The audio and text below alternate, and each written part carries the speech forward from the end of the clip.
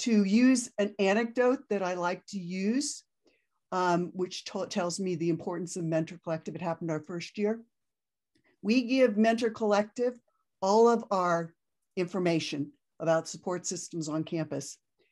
We had a mentor who called the Mentor Collective or contacted the Mentor Collective because their mentee was um, thinking about suicide. Um, Mentor Collective contacted campus resources, and by the time I got the flag at six in the morning, it had already been resolved. Wow. And so that's the kind of stuff that happens. They're 24 7 and they're monitoring what's happening. And now, why did a student who was a mentor reach out to Mentor Collective rather to, than to campus? Maybe they felt it was more private.